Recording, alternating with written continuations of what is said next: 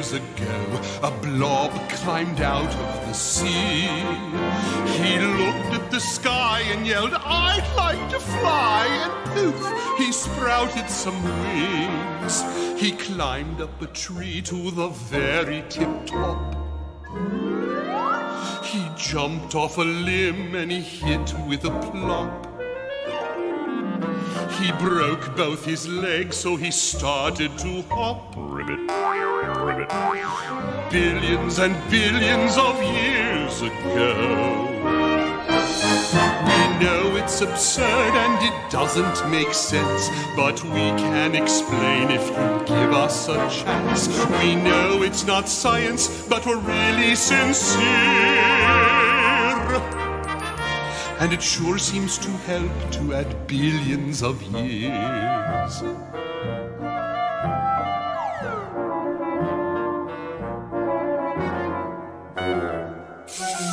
Billions and billions of years ago, a frog went out for a stroll. The froggy went, Brr, I could show you some fur, and poof, hair started to grow. It grew on his hands and his little webbed feet. It grew on his head and it really looked neat. He thought I'm a monkey, I'll swing from a tree. Billions and billions of years ago. Sing it, class. We know it's absurd and it doesn't make sense, but we can explain if you give us a chance. We know it's not science, but really sincere, really sincere. And it sure seems to help to add millions of years. Now, class, listen carefully. Oh, this is the best part. Oh, you're going to love this. Now, listen.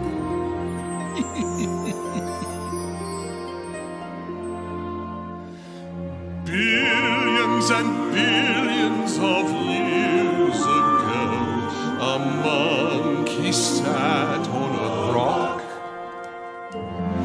He said with a wink, I'm a genius, I think.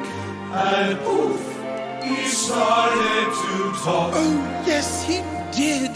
The problems of math he could now understand. He made a trombone and he started a band. He changed from a monkey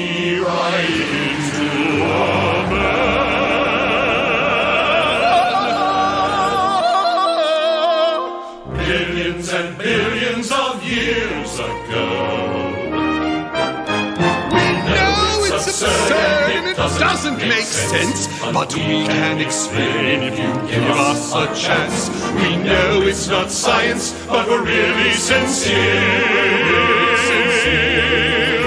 And it sure seems to help to add billions of years. It sure seems to help to add billions of years. Billions and billions of years ago. very good, class, very good.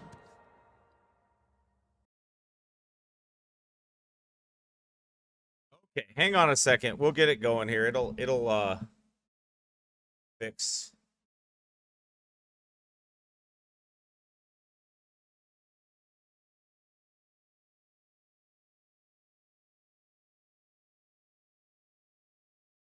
There we go. All right, I think it should be fine now.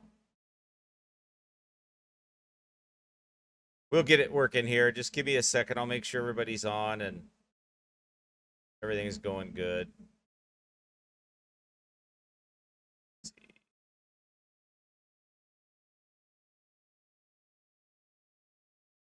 All right, give me a second here.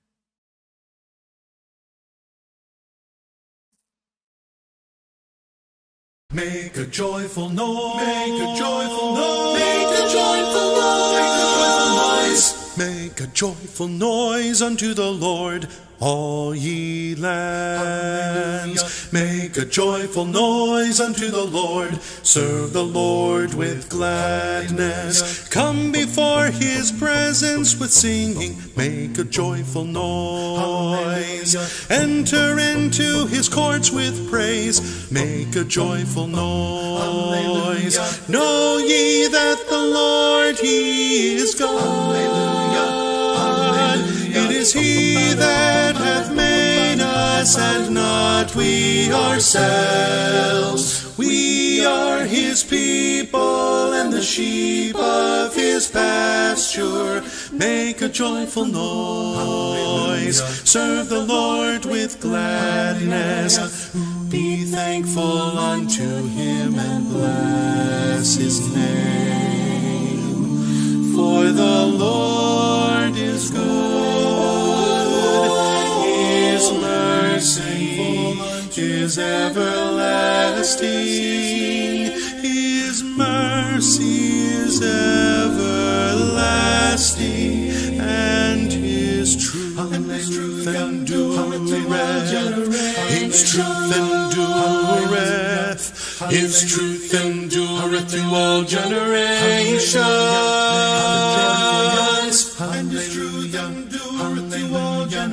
Make a joyful. His truth endureth to all generations. Make a joyful noise. Make a joyful noise. Make a joyful noise unto the Lord, all ye lands. Make a joyful noise unto the Lord. Amen. All right, let's see. Where are we going to go now? We'll give people a few minutes to get on here. Let's see what we'll do here. Hopefully, you can hear me okay. It's a good time to check the microphone. Make sure you can hear me okay.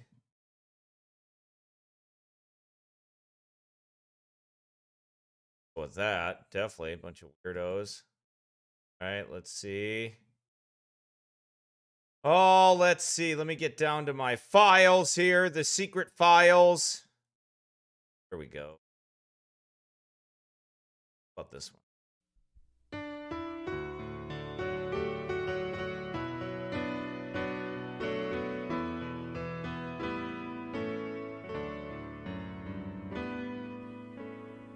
There's a lighthouse on the hillside that overlooks life's sea.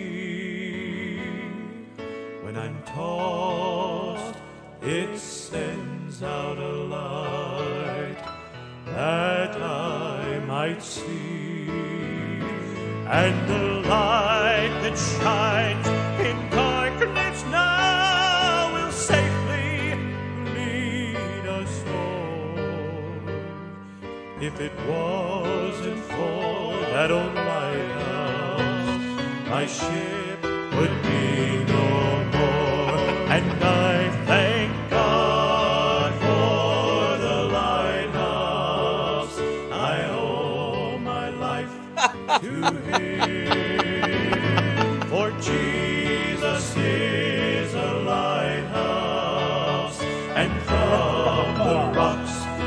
of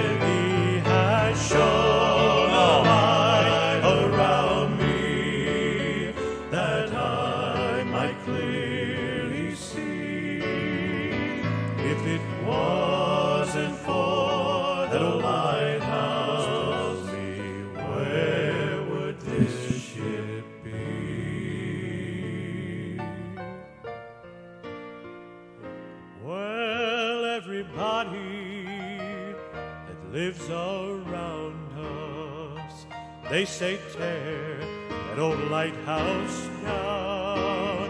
You see the big ships, they don't sail this way anymore. So what's the use of it standing around?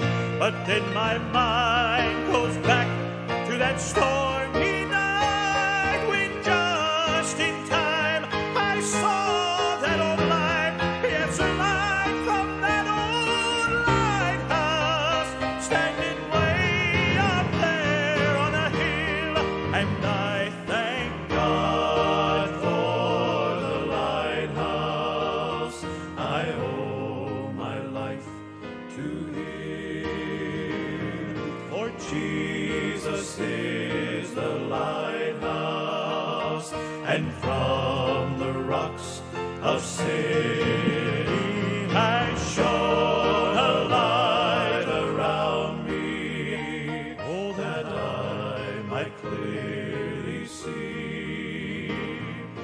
If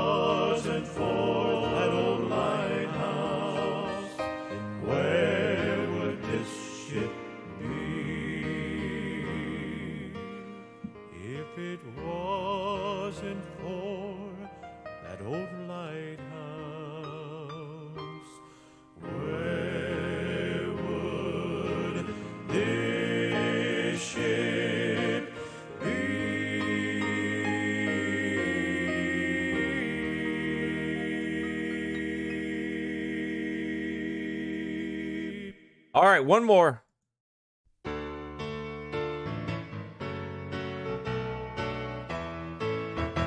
Conquering now and still to conquer, rideth King in his might, leading the host of all the faithful into the midst of the fight. See them with courage advancing, clad in their brilliant array, shouting the Hear them exultingly say, not to the strong is the battle, not to the swift is the race, yet to the true and the faithful, victory is promised through grace. Conquering now and still to conquer, who is this wonderful King? Whence are the armies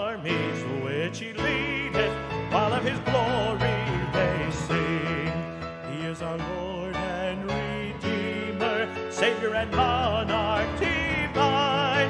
They are the stars that forever bright in his kingdom will shine.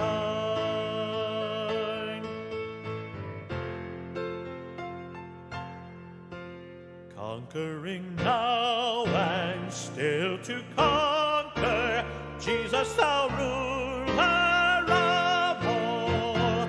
Thrones and their scepters all shall perish, crowns and their splendor shall fall. Yet shall the army thou leadest, faithful and true to the last, find in thy mansions eternal rest when their warfare is past. Not to the strong is the battle, not to the swift is the race, yet to the true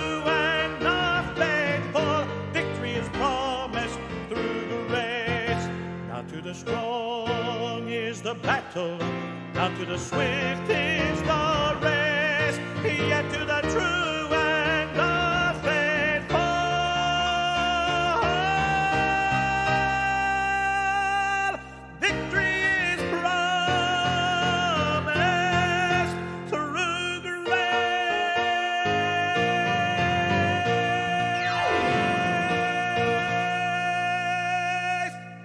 Amen. OPBC Online, a ministry of Old Paths Baptist Church in Northfield, Minnesota. Well, that's where the meeting house is anyway. But I'm in the concrete compound here today, ready to bring you a, another broadcast here. Um, and we're going to talk about a lot of great things here today. Uh, well, a lot of sad things, really, when it comes to the charismatic movement. But it's great that we know the truth of them and we're not confused by them. We're not living in confusion right? We're not living in confusion, but we're living in the land of understanding and truth, right? And praise God for that. Uh, and uh, let's see, charismatic doctrine is easy to refute. Eh, of course it is, but there are absolutely millions of people that are involved with it, Tim. It doesn't matter how easy it is. What you find out with heresy is, is that you have to continue to bang the drum and warn people about it. You have to continue to bang the drum and let them know because there are people that are stuck in this. And just one of these broadcasts might stick with somebody. It might catch their eye. They might look to it and and study the scriptures out for themselves and God may use it in their life to help them to recover them from their snare. There's a lot of people in that snare. A lot of people get deceived by the charismatic movement. A lot of them. Very common. Actually, it's one of the most fastest growing religions and denominations uh, out there today in foreign lands.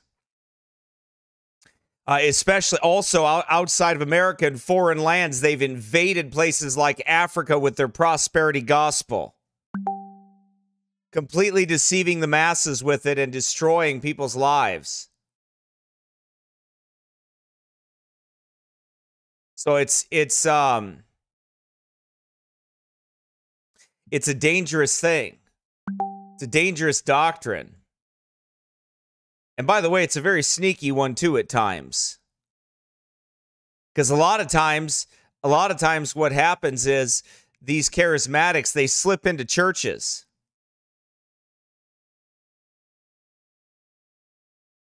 They'll end up slipping into churches and they'll end up deceiving people along the way. They slip right into churches and act like they believe the way you do, but really secretly what they do is they teach charismatic doctrines exorcisms according to the charismatic movement, which is the same movement as Rome. It is the exact same movement as Rome. That's that's what it is. And it's what they teach. But they do it in a very slippery way. I've watched it. It's dangerous. It's a dangerous movement. It distracts people from true spiritual warfare. Truly fighting the devil and his kingdom into becoming a sideshow circuit, a circus, uh, excuse me, a circus sideshow, that is. That's what happens. It's very dangerous. It cannot be talked about enough. Its leaders cannot be exposed enough. They they all come they eventually they all come from Rome, from the mystics of Rome. I've taught on the history of that. I've showed you that in times past. And it's been a while since I've actually talked about it. Been a while. And it's good to bang that old drum once in a while again just to wake people up to it. To the cult of the charismatic movement. It is an absolutely diabolical, satanic cult. Its leaders are in bed with Rome, literally, like literally.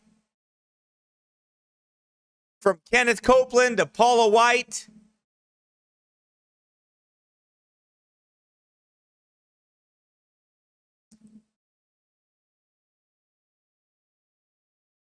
TD Jakes, Prosperity Pimps, Creflo Gimme Yo Dollar.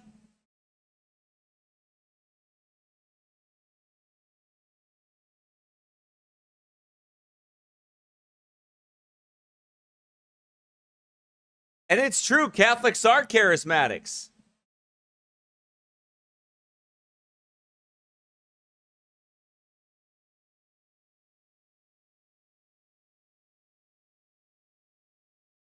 Psychic readings and tarot cards continue to grow in popularity. Let's see. We're going to look at this one.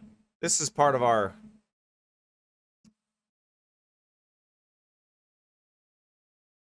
Christ alignment. Hmm, that's interesting. We'll have to look at that here. We'll have to look at that. What do you say, childrens? What do you say we look at that right away here? This just came over the wire here. I'll take a look at it. Oh, you better believe it. If you go back and listen to my history on, on the charismatic movement, uh, David Cloud documents it. Many men have documented the history goes right to Rome. It's the first mystics. They were the ones that did it. And I'll be honest with you. I have an absolute hate for the charismatic doctrines that they hold to and they teach. I have a hate for them, not the people.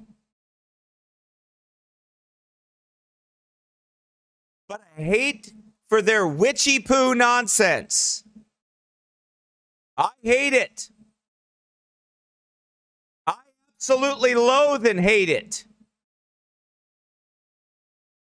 And by God's grace, till my dying day, I will thunder out against it, having been burned by those people. And the fake Judases, witches alike.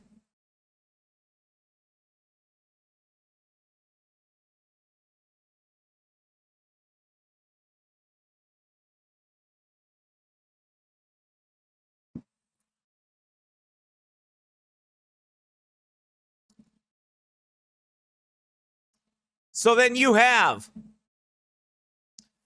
this charismatic movement, this woke, this woke charismatic devilish doctrine.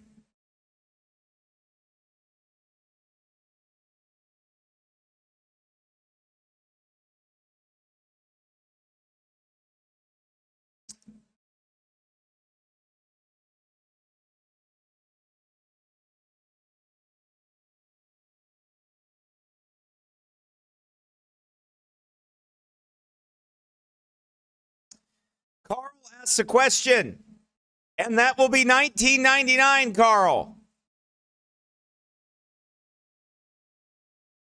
Placed in a safety deposit box in an offshore account. uh, Pastor, on another note, do you think Melchizedek in Scripture is a theophany of Jesus Christ? Yes. Melchizedek was and is Jesus Christ. I believe. Absolutely. 100%.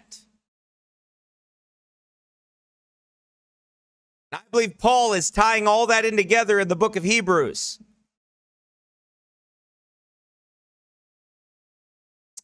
I believe he's tying it all together there. And he explains it in the book of Hebrews.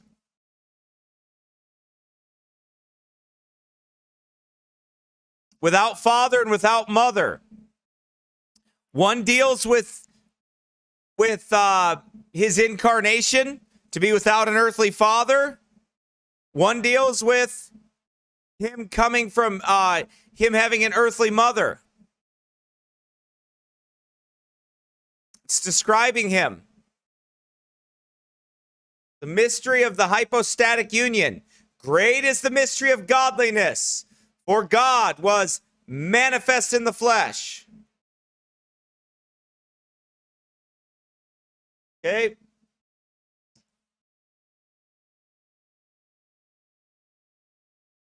But I believe that's what that's doing is describing. Describing Christ.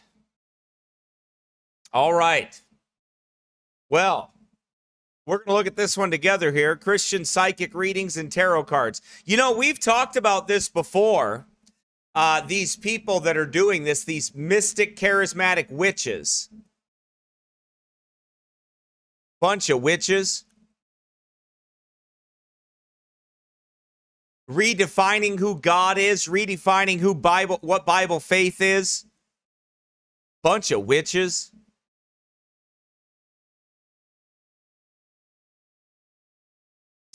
Christ Alignment is a false Christian group based out of Melbourne, Australia, that has aligned itself with the cult of Bethel Church. Now, we're going to talk more about Bethel Church today, Bethel Redding.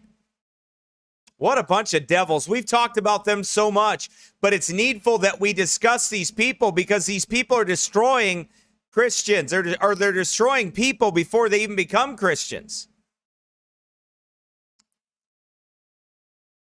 A few years ago, uh, he says a well known Christian version of tarot cards. Christ alignment is a well known for its Christian version of tarot cards, readings, and other occult practices. A few years ago, Christ alignment made headlines. Uh, hang on a second. Pinky Sue said an Orthodox Jew told me once that Melchizedek was Shem. He was still alive. Well, that's wonderful, but here's the problem with that synopsis Shem had a daddy and Shem had a mommy. And Shem's lineage is very clear.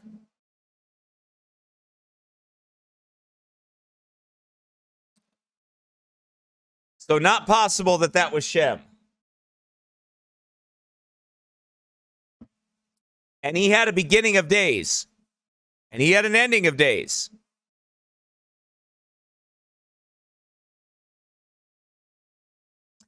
Okay. A few years ago, Christ's Alignment made headlines when it held a nude festival and posted a topless spirit dance and wrote it off as part of its evangelism strategy. Well, I bet it is. I bet you could get a lot of people to listen to a uh, an evangelistic scheme if you had strippers. You're going to attract a lot of people with that. Sure, you are. Naked women running around.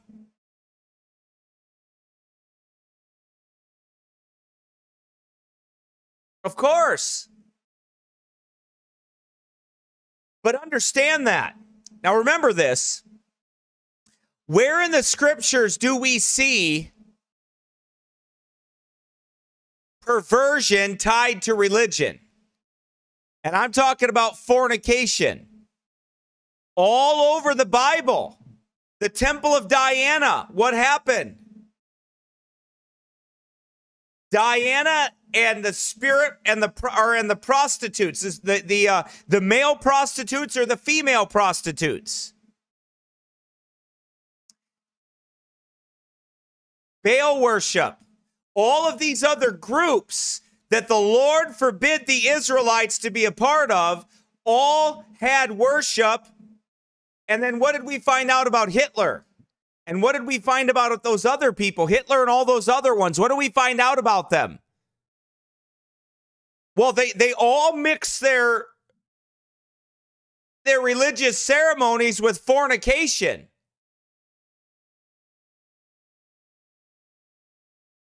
Aleister Crowley said he would get power from uh, the seduction of a of a young male boy, virgin boy.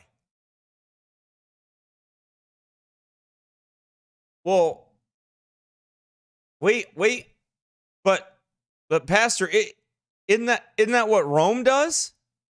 Yeah, yeah, it is. Wait, isn't that what the white power structure does around the whole world? Yeah, yeah. It is it, but Pastor, wait, is isn't that what um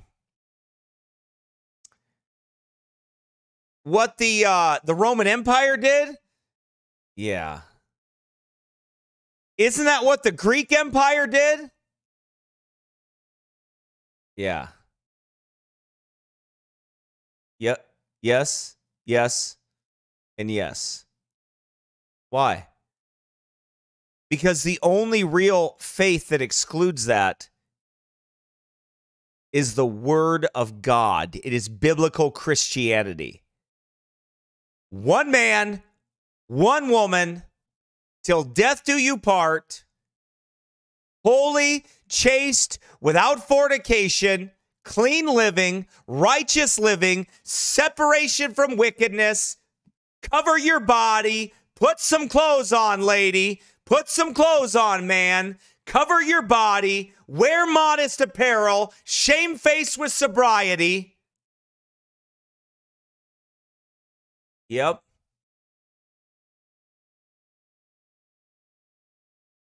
See, Christianity is the only one that doesn't just say, "Hey, women, you got to be modest and you got to be and you got to you got to stay true to your husband." But that man could go out and be a male slut anytime he wants to, and like a dog in heat, he can run around. No. He's to abstain from fleshly lusts, which war against the soul. He's to abstain from fornication. He's to keep himself pure and walk in holiness and righteousness and sanctification. That is biblical Christianity.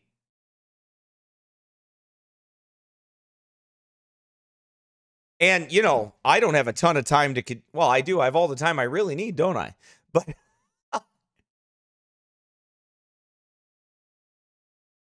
you know, if you're a Christian woman,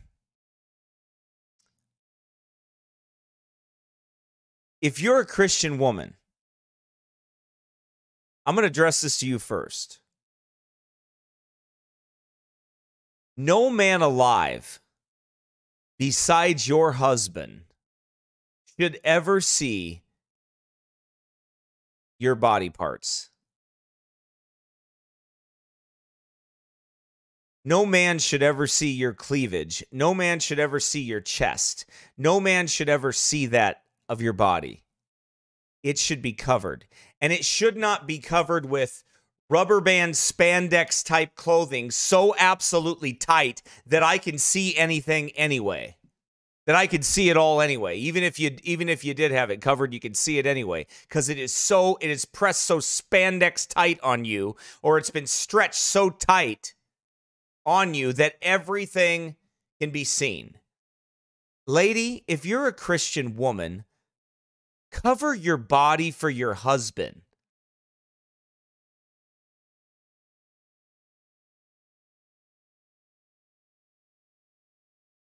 And by the way, the other thing which we're going to talk about, the other thing is, that that you also the same turn shouldn't be running around with leggings on as your outerwear, as your normal clothing. Why would you? Why would you show a man every curve of your body? Have you no decency? Have you no sanctification? Have you no desire to honor God? Do you really desire to tempt those that are around you to look upon you and to lust after you? And I know what some of you absolutely carnal women are going to say right now. You carnal women, the first thing that comes to your mind, the first thing that comes to your mind is going to be, well, that's their problem they shouldn't be perverts and look. Really? Well, you shouldn't dangle your body in front of them to look at. Right? Maybe you shouldn't do that. Not maybe. You shouldn't do that. Maybe you ought to love God enough to keep your body covered so you don't advertise if it ain't for sale.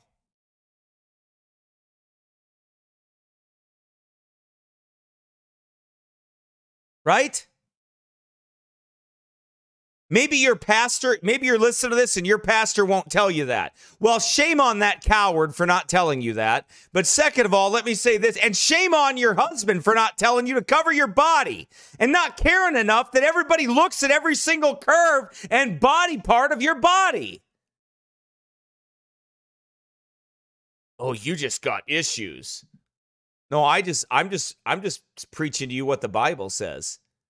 In shame, shamefaced with sobriety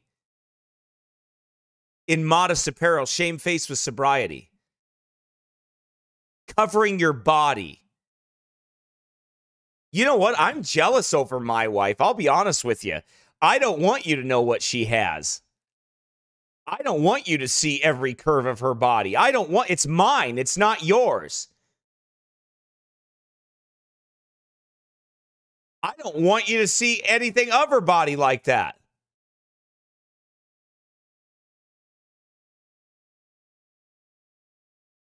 Now, what you have to ask yourself is how come I don't care if men gawk at my body?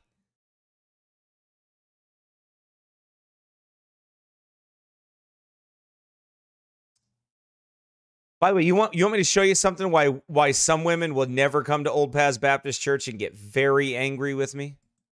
Now, by the way, I don't have a dress code at Old Paths Baptist Church, uh, except keep your body covered and don't come naked. Um, if you do, then you're leaving.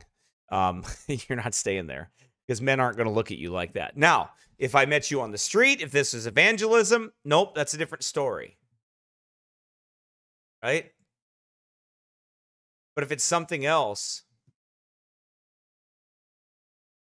I have young men in the assembly. Oops.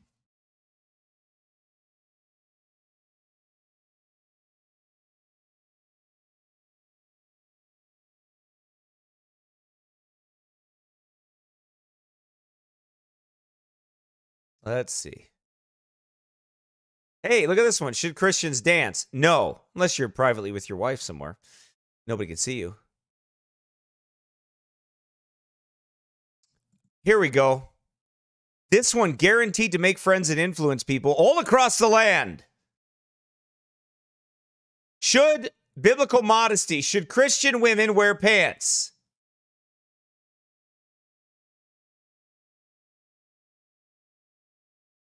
Pretty amazing how a lot of women listen, a lot of people listen to that sermon though. And there's a bunch online that uh, this has made a lot of people mad, but you listen to this biblical modesty series and it'll help you. And by the way, here's a clue. You ready? Here's a clue. If your position sides with the world and the world hates what I'm saying about this, it might clue you in to what side you're on. Right? Anyway. Where was that? Here it is, right here. Let's move on. It is utterly abhorrent that the people at Bethel Church and other charismatic communities have taken something as completely and unmistakably occultic as tarot card readings and sought to disguise them as a Christ enlightenment. There is no way to make something so heavily steeped in the dark arts seem like a sensible approach to empowering destiny and making better decisions in the future. Furthermore, their nude festivals are nothing more than a depraved form of hedonism, masquerading as an expression of community and oneness. It is a disgrace that such activities are still prevalent in the 21st century. Tarot cards, nude festivals, and all other ridiculous activities have absolutely nothing to do with Christianity.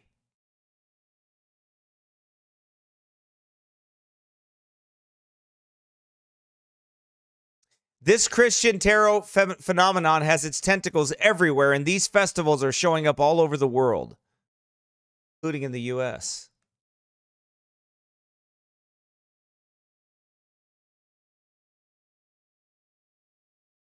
It's a good question, Brother Andrew. He said, Do you have enough faith in Christ, and is he worth you being modest and saving yourself for your spouse? Amen, brother. I wish I would have done that. I wish that I was saved and that I would have done that. And I agree completely. That's the goal. That's the goal. Amen. That's the goal.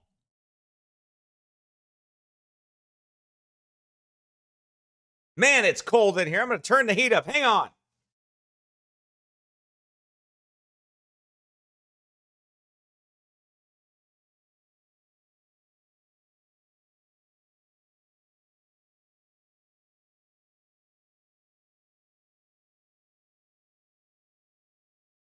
There we go. All right. Okay.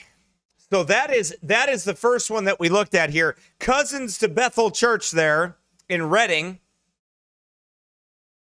And uh, so you understand that's exactly where these people are. That's what they do. It's witchcraft. All witchcraft must be rejected.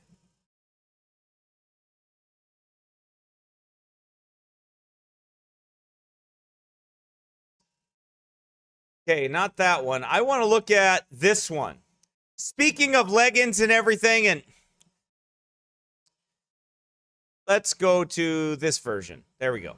Bethel Leader, listen to this selling prophetic leggings to enhance your awareness of God's presence.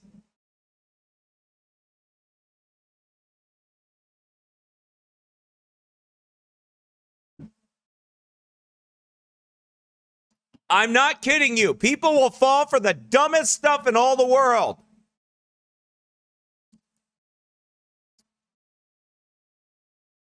They will literally fall for the dumbest stuff in all the world.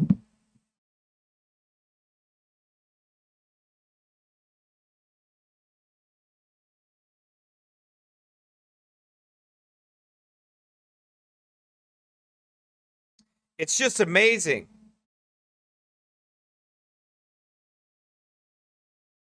Uh, let's see here. Hang on.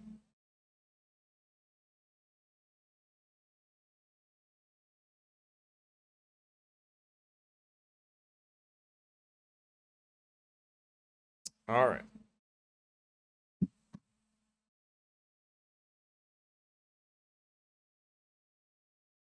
Pastrix. Theresa Dedmon teaches and leads the Kingdom Creative Movement at Bethel Church School of Supernatural Ministry. Translation Bethel School of Magic. They are witches.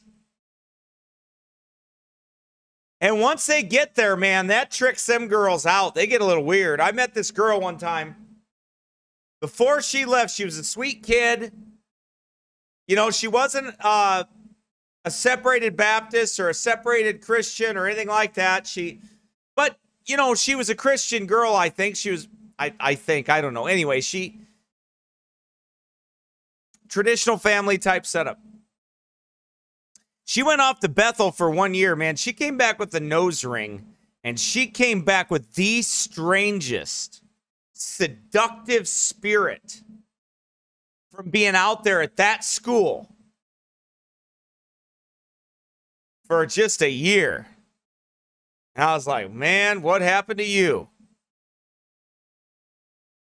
It is the straight. Them charismatics are the strangest thing. It's like that Kathryn Krick, that Apostle Kathryn Krick. Seriously, seriously think that lady's a lesbian. Seriously think she is. We'll see what happens as time goes on, but I think she's a lesbian. Anyway, we'll see.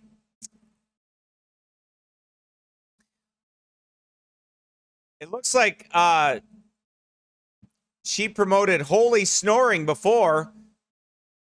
Bethel Church Pastrix. Because there's no such thing as a female pastor who is likely to be a regular feature here due to some never before seen idiosyncratic charismatic manifestations.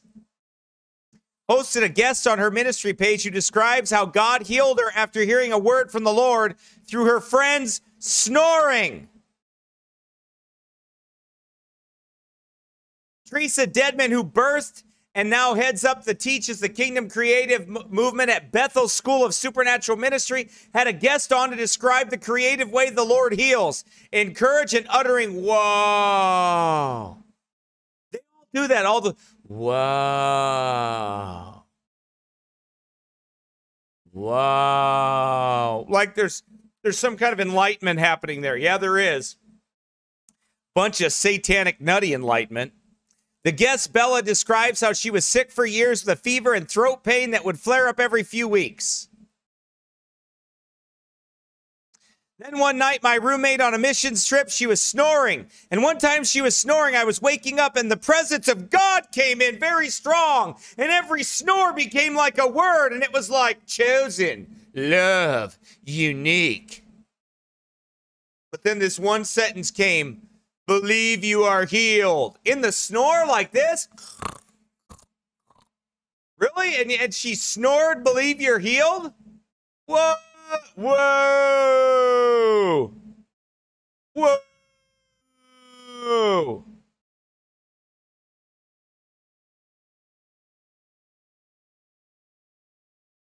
I mean, if you ask me, these people are like tripping. Because you could, honestly, you couldn't convince me of this when I was on drugs. When I was a lost man on drugs, you would never convince me of this stuff. I mean, I hung around people that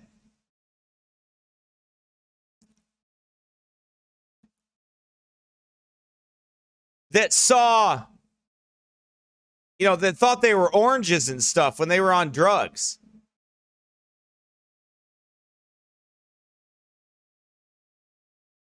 Right?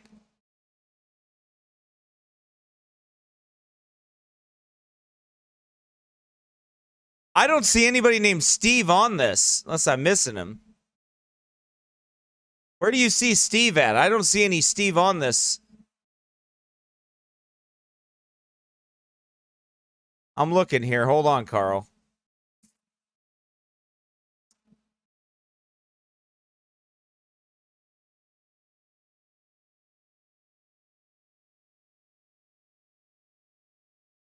I don't see anybody named Steve on there. Anyway.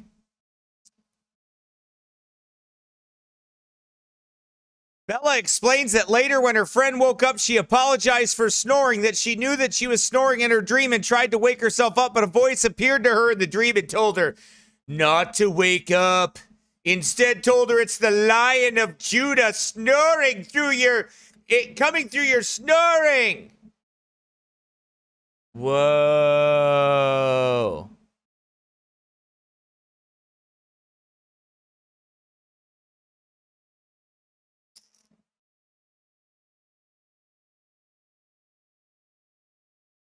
Okay.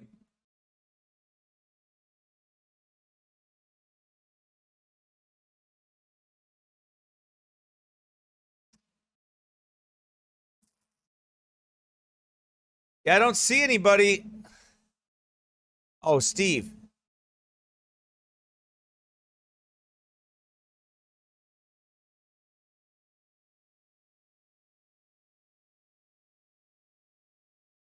Steve's, we don't fight against flesh and blood. The 612 you shouldn't call nobody dumb.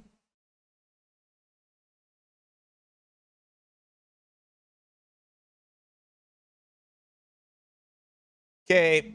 Yep. Steve's the nutty charismatic. Hey, Steve.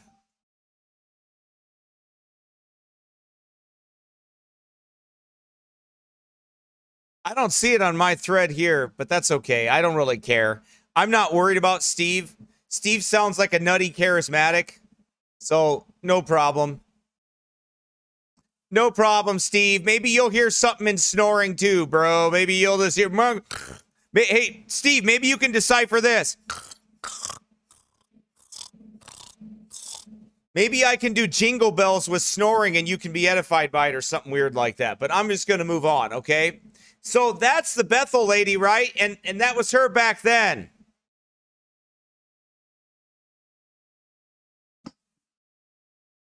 So now now we have Mrs. Leggins. That's not her real name, but she's some kind of preacher lady, uh, falsely so called a Jezebel. And the, the preacher lady is up there, and what is she doing? She's telling people that she's got holy leggings, holy leggings. And these leggings are going to bring you closer to God. And I'm telling you something right now, man. They will bring you closer to God. You must have the holy leggings. Like she's some kind of Hindu guru or something, and they're gonna they're gonna believe her. It turns out she has a new side hustle, a store, where apart from selling art prints that were created from heaven's perspective, it is intended to transport you and others into an encounter of God's supernatural presence and power. Okay? Yo. She also sells those prints on various clothing and articles, where she claims by fashion designs embody the prophetic art they are created for. Wearing my art enhances your awareness of God's presence and helps you become a walking encounter of heaven's message to those around you. Then there is this Happy Jesus cell phone case, whose prophetic meaning is you have captivated Jesus every time you stare into his face. He is so happy to see you, touch you, and know you. No matter where you go or what you do, he smiles and welcomes you home. A Heavenly Spirals origami tote, where windows, ladders, and doors open up new perspectives as heaven's access points open new realms for you. Okay, and a live kimono whose prophetic meaning is that glory awakens seeds inside, releasing growth that jumps up in spirits and sings, We are alive for the glory of God. End quote. Well, now. So, besides, uh, no, that's not a joke. That's dead serious. And If you call now, we'll throw in the Jesus uh, kimono. Kimono. As glory awakens seeds inside, releasing growth that jumps up in our spirit and sings out, We are alive. No, I'm really not kidding. You're really not kidding. You, here you go. You want to order some? Here you go. Here's our clothing.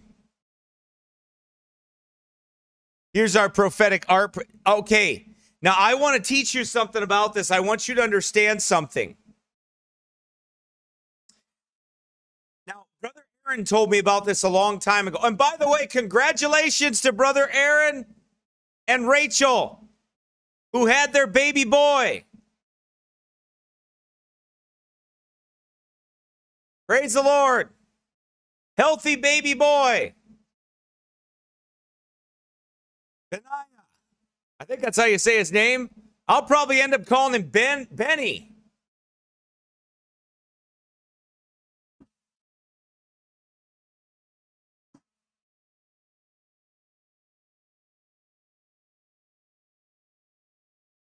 So, this is it right here. Would you like some lifestyle accessories? Some prophetic lifestyle accessories?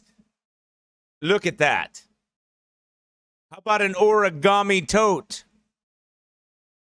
How about mysteries in motion? Huh?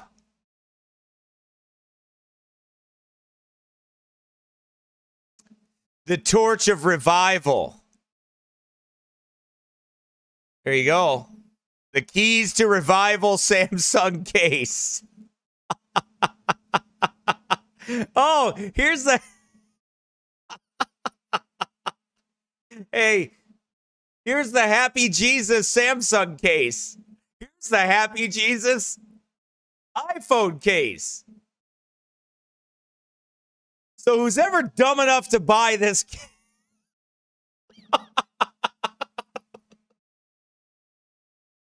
Who's ever dumb enough to buy this case? This is the Happy Jesus iPhone case. If you act now, do you want to own Happy Jesus? He looks right at you and smiles the whole time. And, and she literally says, and he wants to look at you, and he wants you to look at him, and he wants you to touch him. People get mad at me when I make fun. Aren't you? Somebody got on my on my thread the other day, and they said on one of my videos, don't you ever get convicted about sarcasm? Well, not really. Not very often. Because I know that Jesus used sarcasm. I know that the Apostle Paul used sarcasm. And I know making fun of these witches is not a bad thing. Or their false, heretic, damnable doctrines of devils.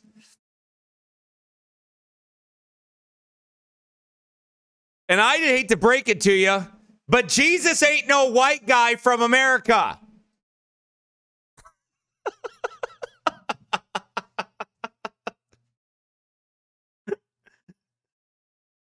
That's not Jesus. The Happy Jesus iPhone case. You have captivated Jesus. Every time you st- stop. How could this?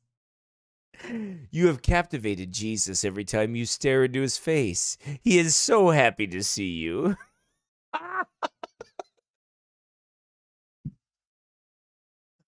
oh, oh, okay. Um, all right. I needed to laugh this. I needed to laugh today, anyways.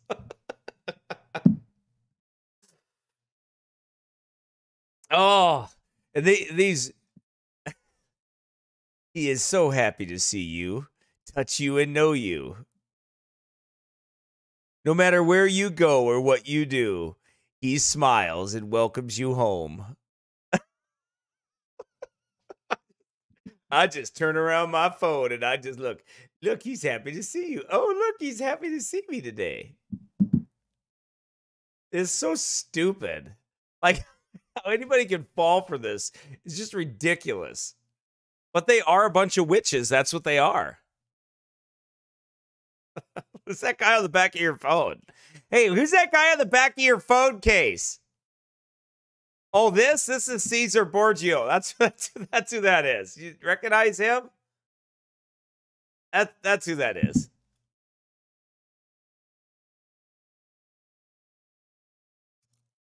That's that's who that is. That's the Pope's son. that's who that is. That's the that's one of the ascended masters.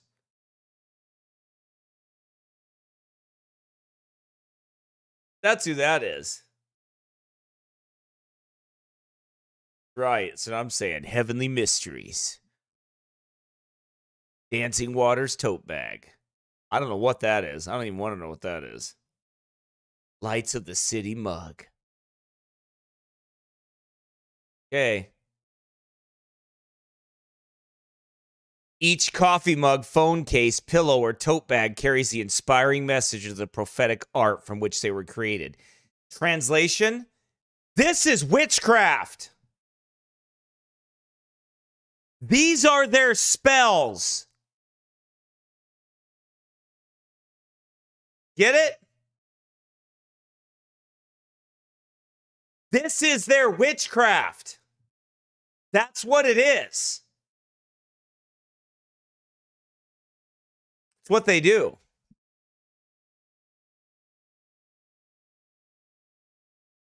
Whoops, that's the holy snore. Hang on. There you go.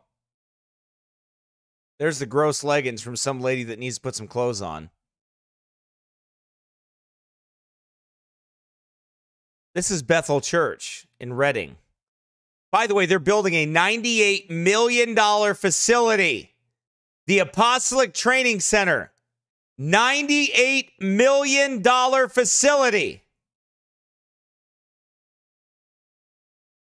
You get that?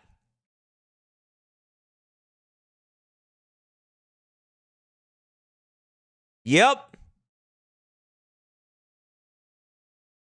There's a lot of money in false religion. There's a lot of money in satanic charismania.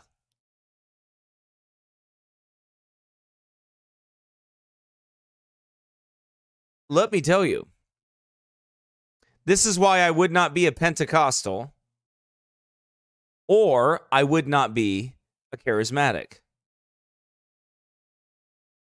Their history starts with a rebellious female.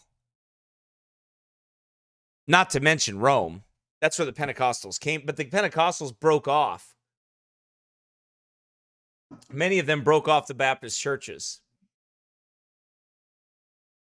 See, Satan had to have his false doctrines. He had to have his church of the false doctrines.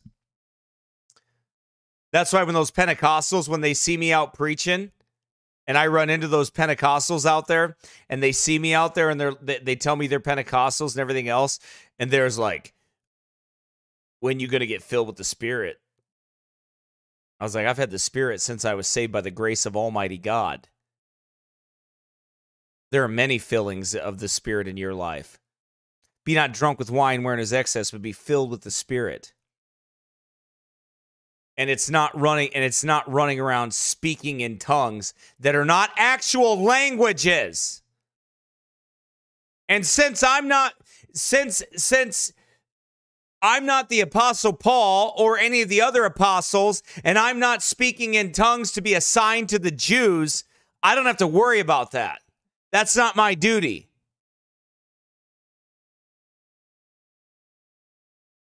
Right?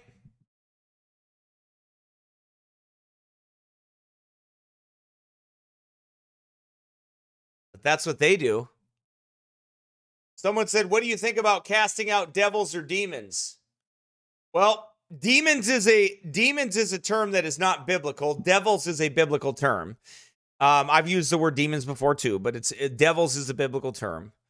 What do I think about it? I think they come out with prayer, and I think I think they leave, and I don't think it's it's some. I don't think it's some uh, grueling exorcist, uh, poltergeist, bad Hollywood video where you lock somebody in a room and find out how many Pop Tarts they stole when they were three years old, or how many cookies they stole, and reenact every sin they ever had in their life, and back them all the way up there and try to cast out every devil and every bad thing they ever did in their life and go back to that. I don't believe that nonsense. I don't believe it for one minute. I believe for by grace are you saved through faith, and that not of yourselves, it's the gift of God, not of works, lest any man should boast. I believe that the gospel is the power of God unto salvation. I believe that it is the power of God unto salvation. I believe that for whosoever shall call upon the name of the Lord shall be saved. I believe when the Son of Man shall make you free, ye shall be free indeed. That's what I believe.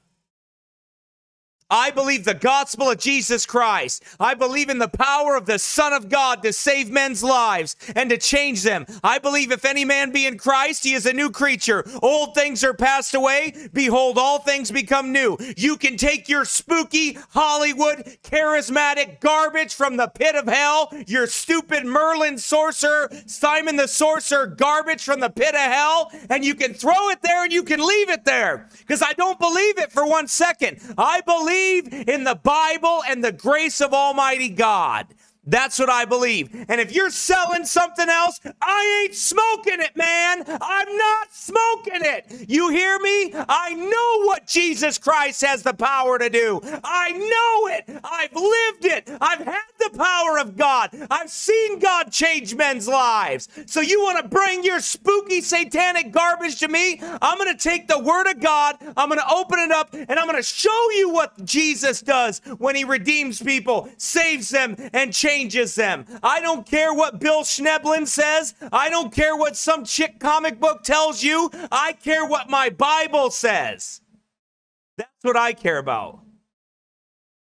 And seen it very plainly and hear it. I don't believe any bit of that nonsense that is taught. They're all a bunch of jokesters, and all they really do is enslave people and put them back under those satanic curses.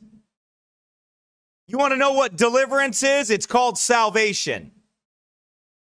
That's what deliverance is. It's being saved. That's the same word. Delivered. You'll never convince me otherwise of anything else. Why? Because I've seen that joke. I've seen those phonies. I, I've seen those false prophets. I've seen those evil men crept in unawares. I've been bruised and stabbed and battered by those men. I know exactly who they are and I know exactly what they do. And by the way, I don't know who those guys are and I don't care who those guys are. I have a Bible. And if those guys are teaching anything contrary to that, I don't care. Plain and simple. I've watched it. I've seen those people.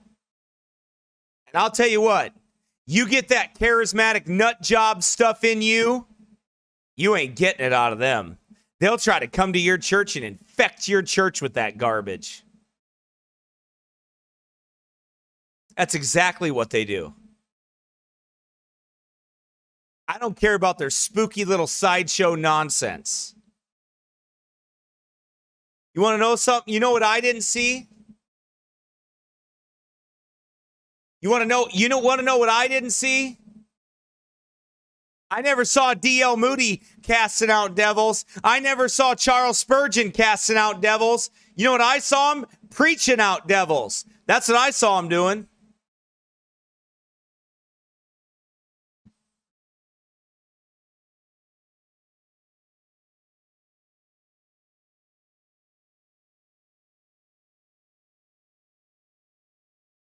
What about Mark 16? I ain't got no problem with it. You challenging me? Let's do it. That's what I say. Let's do it, charismatic boy. Let's do it. Let's do it, little demon slayer. Let's do it. Hate this stuff. I'm telling you, I hate it. I hate it because it's false. I hate it because it's a lie. I hate it because you people do your little spook show, Kathryn Kuhlman nonsense. I hate it. And oh, you're getting passionate. You're yelling. Yeah, I am. I am. You got a problem with it? Turn the channel then. I don't care. I will forever war against your satanic antichrist garbage. You think I'm afraid of the word of God? I live by it. It's connected to my soul. It's what I feast on. Not a problem. Not a problem. Whatsoever. Oh, why are you getting so excited? Because I hate your doctrine. I hate it with a passion. I loathe it. I hate it. I war against it. I hate it. It's phony. You're a fake. You don't know the power of God because you're too busy floating around like a bat somewhere in the air. You don't know the word of God. You pick out verses and try to pull things out and try to make your doctrines about it and build up a whole spooky doctrine on trash cans and puking in trash cans and everything else. It's a joke. It's an absolute joke. No, I'm not warring against the scriptures. I'm warring against your interpretation of it, you little devil. That's what I'm doing. That's exactly what I'm warring against. Not God's word. I love it. I live for it. My whole life, my never dying soul is staked on that book and its perfection.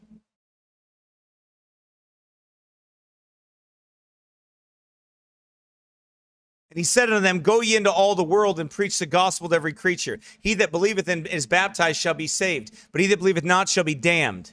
And these signs shall follow them that believe. In my name shall they cast out devils, and they shall speak with new tongues, and they shall take up serpents, and they shall drink any deadly thing. Right. Uh, okay. I will enlighten you on it. Who is he speaking to?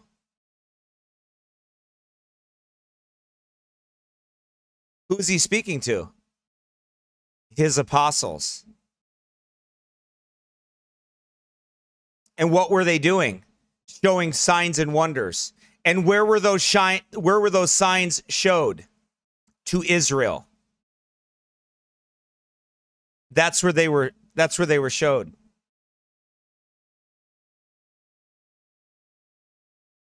I'm just curious, do you drink poison on a regular basis? Do you drink I'll wait for you to answer the question. Do you drink poison on a regular basis? Do you grab strychnine and poison? Do, do you grab it and drink it on a regular basis? Do you do that as a sign?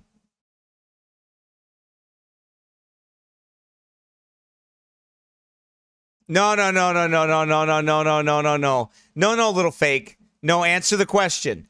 Do you grab straight up poison that kills men and drink it on a daily basis to prove your signs and wonders. Do you do that? I'll wait for you to answer the question. I'll wait.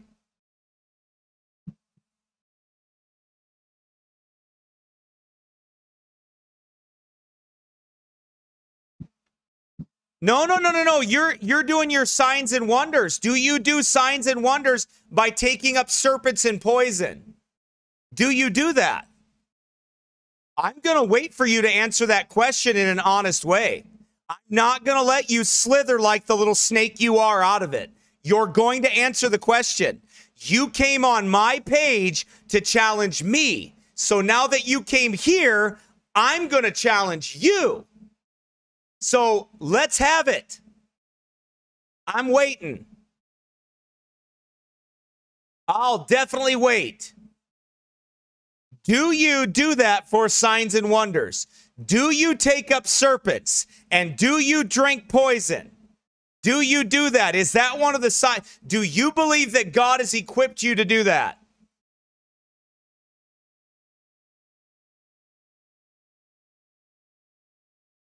I'm just I'm just curious if you do that. How about that was given to the apostles as they were laying the foundation of the church? And then those signs and wonders went away. Then those signs and wonders went away. No, no, no, no, no, little devil. No, no, no, little devil. You don't ask me a question, little devil. You answer the question that I gave you, or you get off my page. If you don't answer the question that I gave you, you leave. That's the way it works. This is my channel. You can go do things on your channel and make your I hate Cooley video over there. And I'll go to sleep tonight just fine laughing about it. But if you're going to come on here, then you go ahead and do it. No, he's not trying to answer the question because he can't. Because he can't be honest. He can't be honest. So he'll go bye bye. That's okay. See, these charismatic videos, somebody well, why are you doing these videos? Oh, I think you all know why I do them. Exhibit A? He's the reason why. Those people are. Because they all come out of the work. Okay. They shall take up serpents. Have you taken up serpents, little devil? Have you taken up serpents? They shall take up serpents. Okay, let's go with your let's go with your definition. Are you taking up serpents? Okay, let's skip over the let's skip skip over the drinking of poison. Have you taken up serpents? It says they shall take up serpents. Answer the question, little devil. Answer it, charismatic devil. Answer it. Now you're cornered, devil. Answer it. And you're right. I'm not like your pastor. You're right. I'm not like you that are listening out there. I'm not like him. And I don't want to be like him. I'm doing what God's called me to do. I'm a lost Pharisee? Okay, so you can't answer the question. Would all 50 people on here notice that he could not answer the question?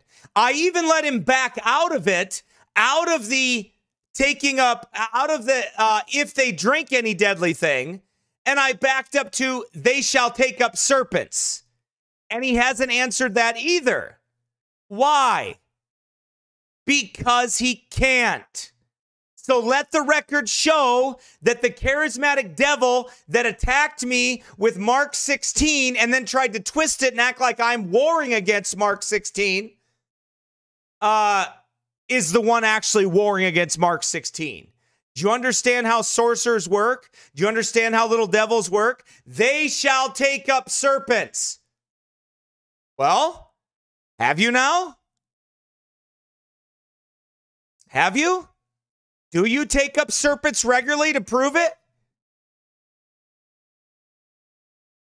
That's right, Kenan Sturman. Thank you for posting that. Snake handling Pentecostal pastor dies from snake bite.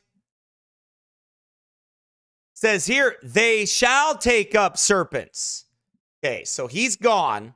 He's not willing to answer the question because he can't.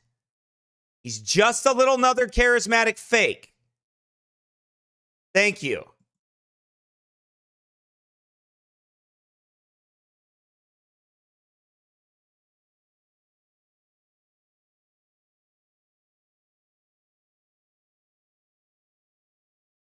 Okay, now we're done with him. We're done with him very plainly, and we'll keep moving on. And some of you might get offended by what I do. I don't really care. I'll be honest with you. I don't. If you get upset with me because I'm standing against that witchcraft, it's just because you ain't been burnt by it, friend. you ain't been burnt by these devils. And I mean that I don't mean him, I mean the devil that's in him. You tell me why these why these Jezebel women, huh? And why these devil possessed men, when I talk about this stuff, they can't help it they have to come on. They have to oppose me. They have to. Why?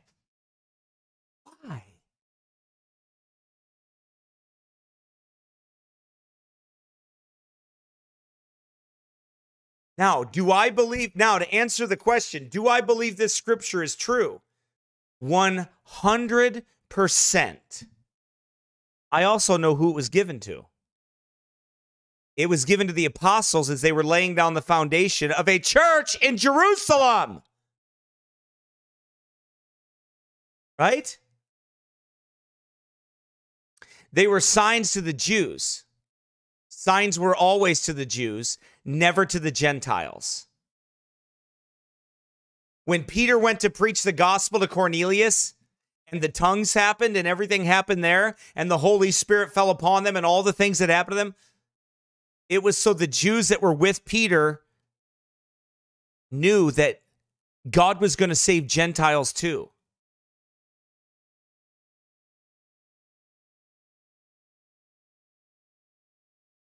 Do you notice how he tried to twist it and say that, oh, Pastor Cooley doesn't believe, he doesn't believe in, uh,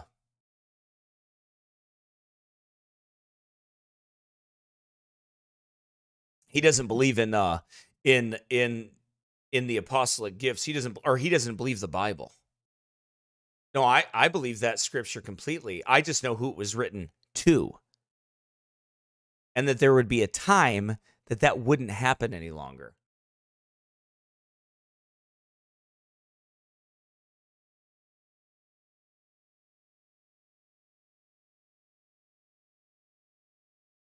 I know that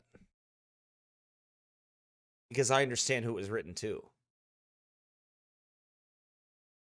Well, now, I and probably right about now, some people might be saying, you know, you ought to tone it down a little bit, Pastor. I mean, you're going to lose credibility with people. You're the only thing you're supposed to have passion about in 2023 the only thing you should have passion about in 2023 is football games and football players that have heart attack because they because they took vaccines. I mean, those are the things you should have passion about. You should yell at a football game. You should yell at a at a sporting event.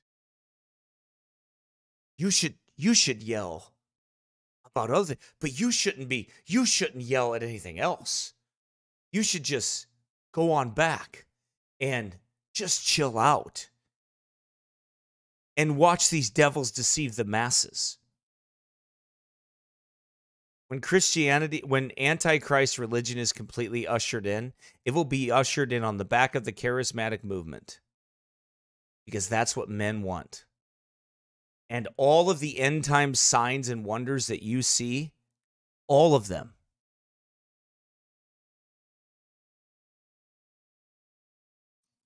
all of those in the end times are marked with deception. These signs and wonders that these people are looking for, they're marked with deception. Do you understand that? That's what they're marked by. But don't take my word for it. Study. Okay. So we went through Bethel and we went through Holy uh, Leggins. Unholy Leggins.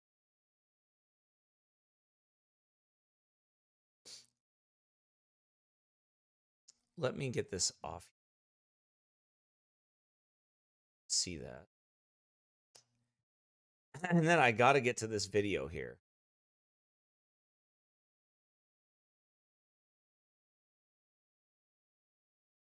Here it is.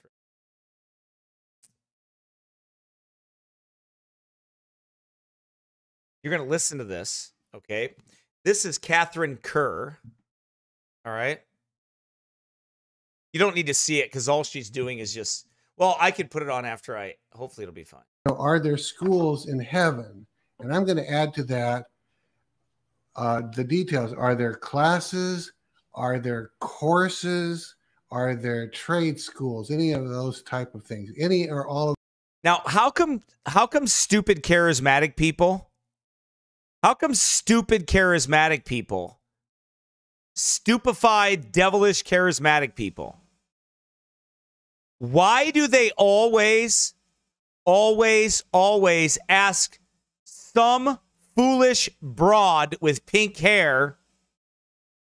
Why do they ask that woman what heaven's like? Because she had secret visions. Why don't they Look in the Bible. All those are none of those in heaven. I, I don't know about the trade schools. I think that anything you don't know how to do or you would like to do, horseback riding, skydiving. I mean, I can, I'm just listing a bunch of things. If you really Yeah. were interested in doing that, you go to the one who knows how to do that. And yes, they will teach. They teach people. They they give classes and teach people. But there is word This is so stupid. All these are in heaven. And you know, there's skydiving classes in uh, classes in heaven. Could somebody tell me why you would need skydiving in heaven?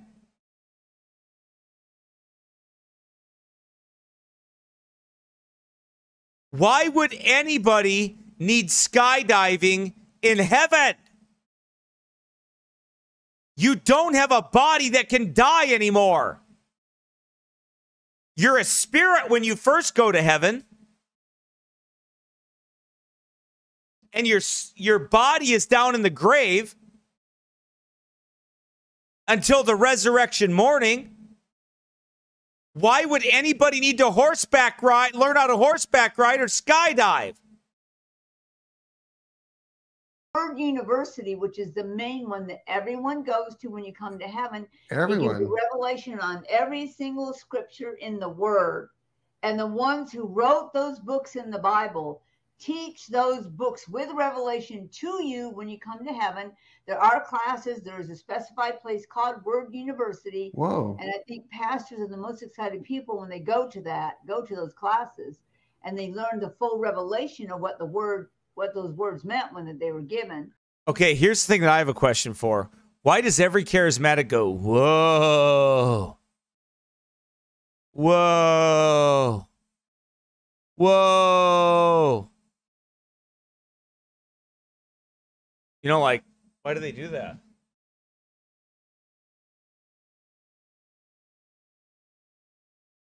Hang on a second.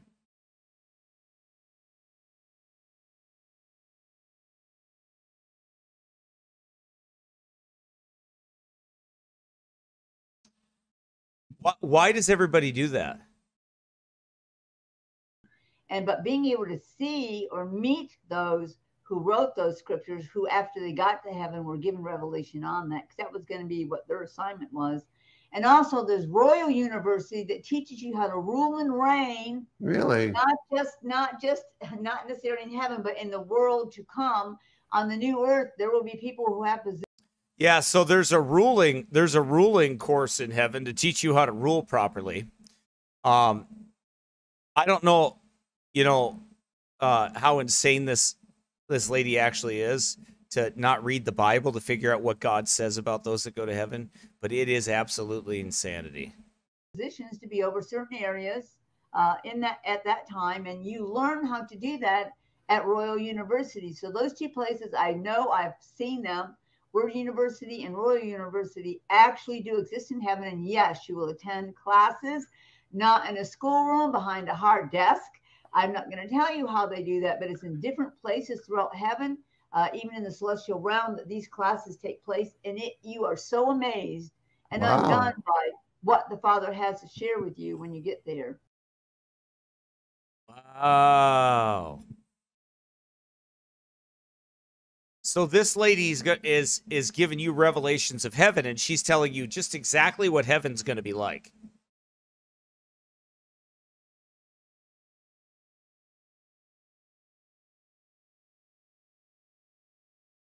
Just exactly what it's going to be like. She's going to explain it all to you. Did anyone ever think about looking in the Bible for what heaven is like?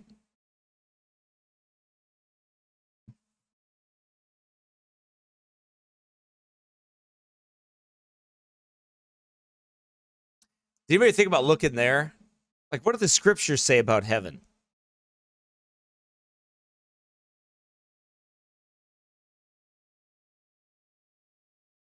What do they say? Do you think they know?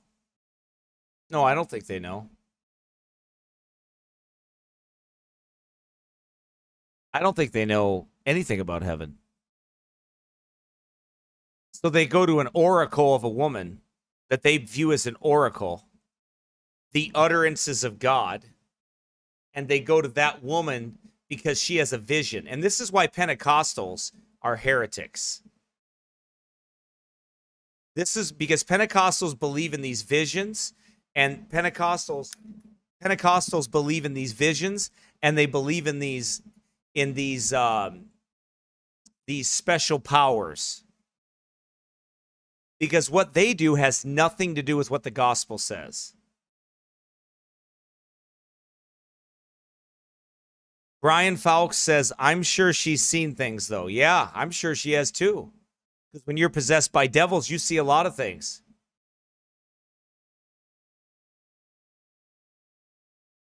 It's kind of like when people hit acid, they see a lot of things. That's that's pretty true, actually. Remember Jesse? Jesse! Jesse!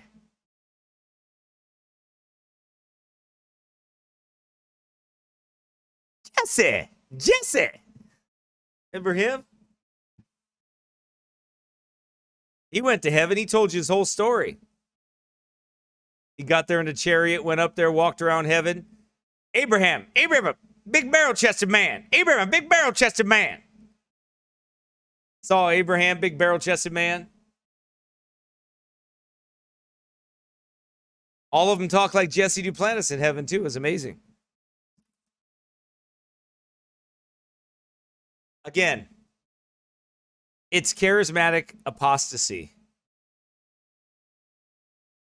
And it's so prevalent today. It's so popular. Why? Because everybody wants heaven to be like Disneyland. Everybody wants heaven to be just like Disneyland. They want heaven to be just like just like their dreams. The one thing they don't want is heaven to be holy. They don't want God to be there.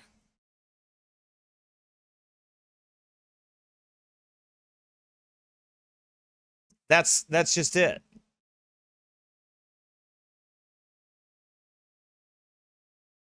So what do they want to do? They want to preach and teach a false gospel.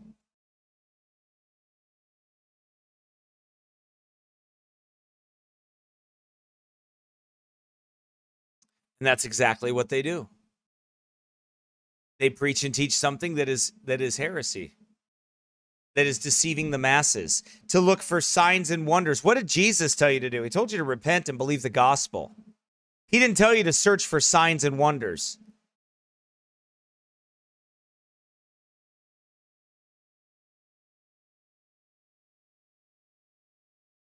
All right, next.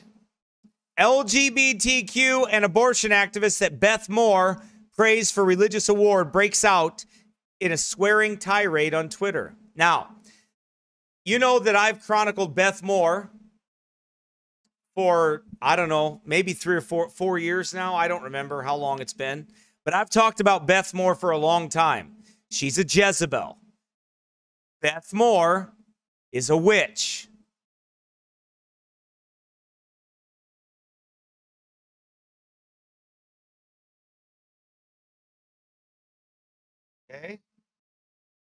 I'm going to show you that again. Revelation 2:20. Notwithstanding, I have a few things against thee, because thou sufferest that woman Jezebel, which calleth herself a prophetess, to teach and seduce my servants to commit fornication, and to eat things sacrificed unto idols. And I gave her space to repent of her fornication, and she repented not. Behold, I will cast her into a bed, and them that commit adultery with her into great tribulation, except they repent. Now, of their deeds. I will kill her children with death, and all the churches shall know that I am he which searcheth the reins and hearts, and I will give unto everyone according to his to your works. Now listen to me about Beth Moore. Listen to me about all female preachers. If you are a female preacher and you go to the mixed assembly of the saints and you go to a church and you preach before a mixed multitude of men and women in the assembly, if you lead in that church, if you preach in that church, you are a false Jezebel, lying, snaky, deceiving woman. You are not a biblical woman. You're a Jezebel. I don't care what you mask the, the, in false humility with. I don't care what you do with it, how you do it, or how you mask it. You are a Jezebel. Because you do not even obey the scriptures. And when you don't like what the Bible says, you skip over it or you use another false perversion of the scriptures to in order to allow yourself to be able to do the things that you do. All female preachers or pastors, falsely so called, are absolute skanky spiritual Jezebel witches. They're filthy and they're full of abominations. and God hates it. He hates it.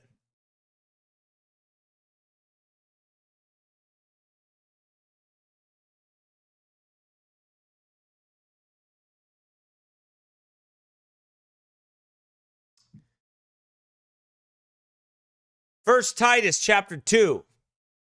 Or First Timothy chapter 2, excuse me. First Titus. First Timothy.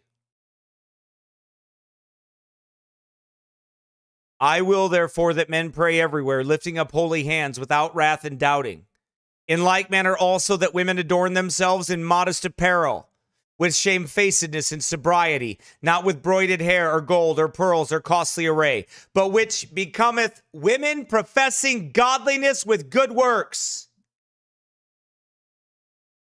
Let the women learn in silence with all subjection. But I suffer not a woman to teach, nor to usurp authority over the man, but to be in silence. For Adam was first formed, then Eve.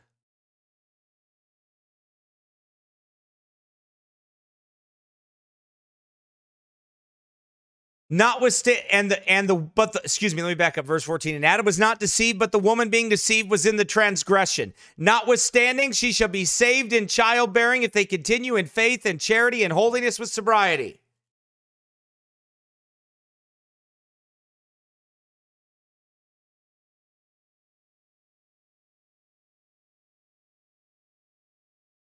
There you go.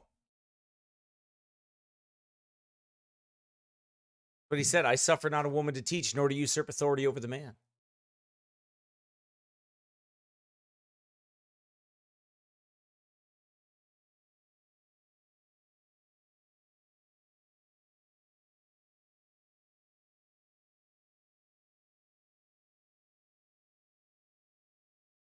He says it again in First Corinthians. By the way,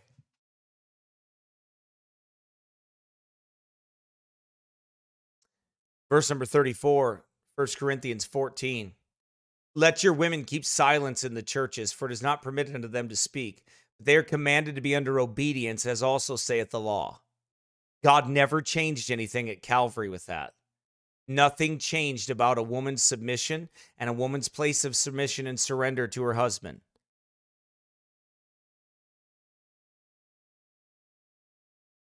Let your women keep silence in the churches, for it is not permitted unto them to speak. They are commanded to be under obedience. As also saith the law.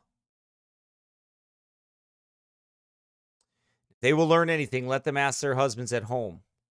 For it is a shame for women, for women to speak in the church. Now, if they had a question, they could write it down.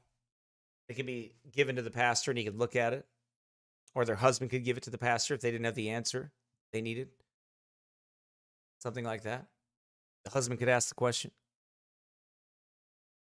This is when the assembly is meeting for the purpose of the of the preaching of God's word and teaching of God's word. It's not like a a different meeting that they might have. They might have a sometimes churches as a church they meet for business and women uh, I mean a, a trial and women are allowed to speak as a witness in a trial against them or something. If somebody's impugned their character, if there's a question of their character, they're allowed to speak. If they give their testimony of salvation, they're allowed to give their testimony of salvation. Those are those are allowable things. Sometimes we do things with we have we have a, a children's class where there's boys and girls. Now, older ones that are women that are they don't they're not a part of that, but the boys and girls uh, that are together. You know, if we have a, you know, the church isn't assembled for that purpose of preaching and teaching. That's what Paul is discussing here. He's not saying a woman has to walk around in the in the when the assembly is meeting or when the assembly's together in a building somewhere they can't talk to each other. No, he's not saying that. He's speaking authoritatively. He's talking about a woman speaking authoritatively or to interrupting something or causing a distraction to something or questioning something. Let your women keep silence in the churches, for it is not permitted unto them to speak. But they are commanded to be under obedience, as also saith the law. And if they will learn anything, let them ask their husbands at home.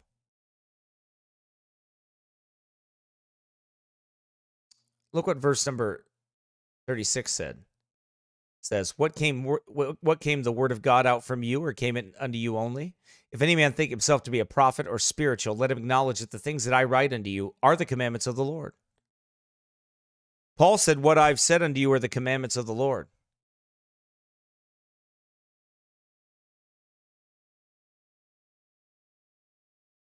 They are the commandments of God.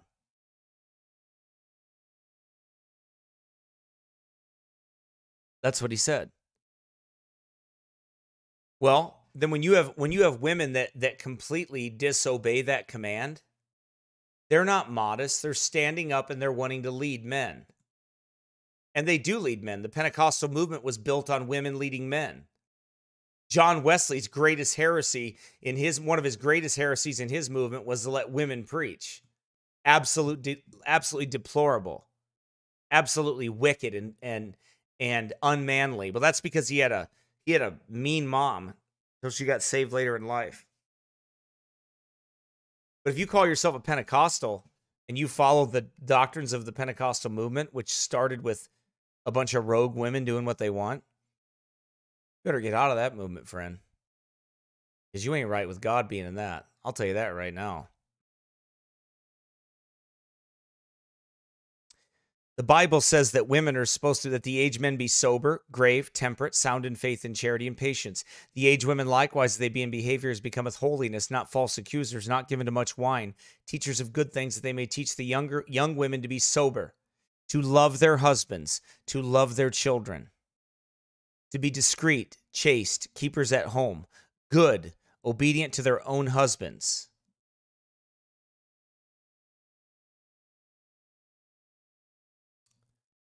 That the word of God be not blasphemed.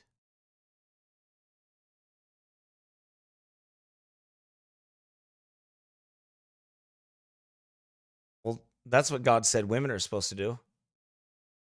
That's God's design for women. So then you come to Beth Moore.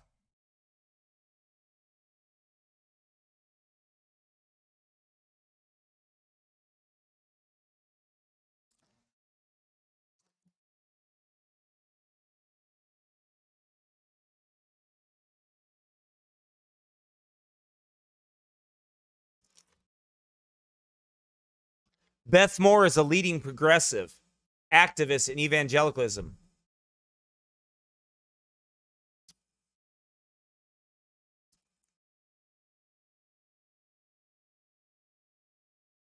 Who used her platform to promote some of the most godless ideologies within the church, which contradict the teachings of the Bible. Recently, Moore drew attention to herself again when she praised pro abortion, pro LGBTQ activists, and Anthea Butler.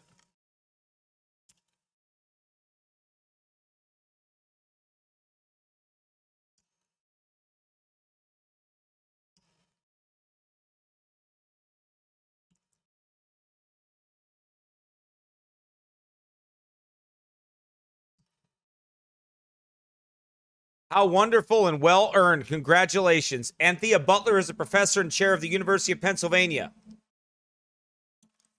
Department of Religious Studies. She is known for her far left activism in support of abortion and LGBTQ rights. She has made ludicrous assertions, even blaming white evangelical racism for the end of Roe v. Wade and claiming that white evangelicalism is trying to destroy the lives of trans kids and LGBTQ persons.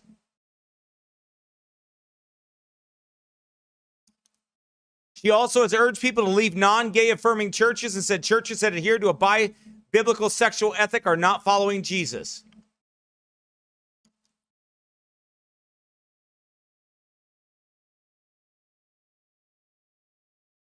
So I want you to think about this, okay?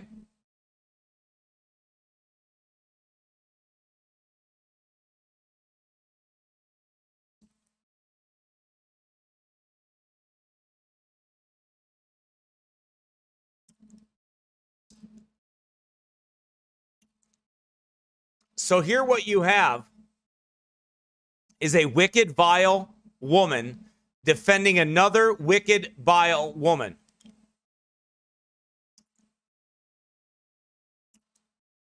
There's no office of a deaconess. There's no office of a deaconess in the Bible. Yes, there were women that were servants. There's no ordained office for women in the New Testament that's ordained by the laying on of hands and by running somebody through. There's nothing like that.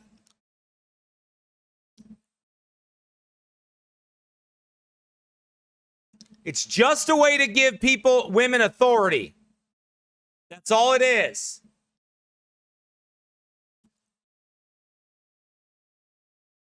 It's just a way to, to put down men it's a way to destroy the patriarchy. It's a way to destroy church leadership with men in it.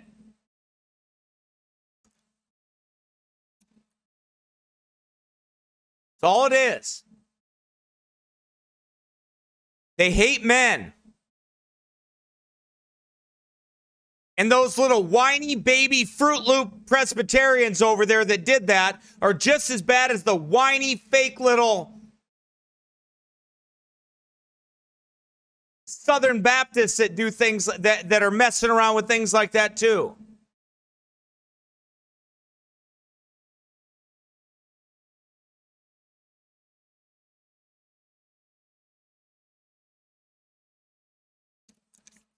Catching predators. I already talked about Kathryn Krick. I already have a video on her.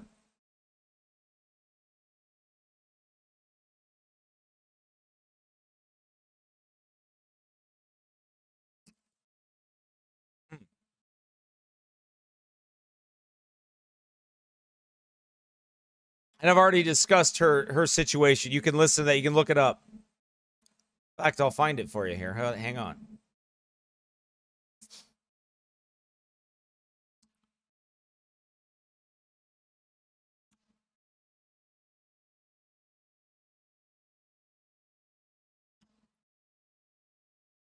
Here it is. False Apostle Kathryn Krick. Charismatic trick of Satan.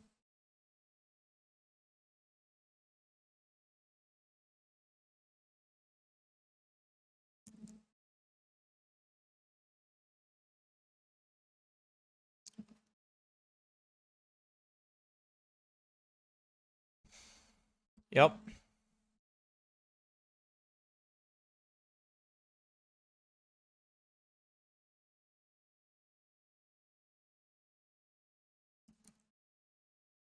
Was that a year ago?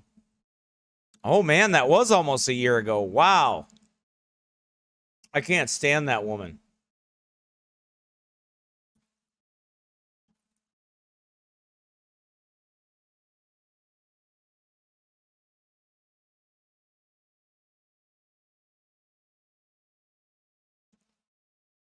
Okay.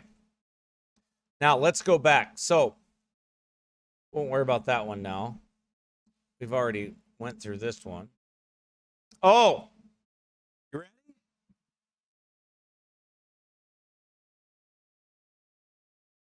More Bethel witches. Here we go. one of the most like ridiculous, like spooky church story I have from the hospital is that I was taking care of a man who was unconscious and he was dying, and I had no way of communicating with him. I didn't know if he was saved, I didn't know anything really. And I was in the room, and his heart rate just started to drop really fast. And I was just like, Jesus, I don't even know if he knows you. Like, what, what do I do in this situation? And I just heard him say, If you forgive his sins, he'll be forgiven. Whoa! If you forgive his sins, he'll be forgiven.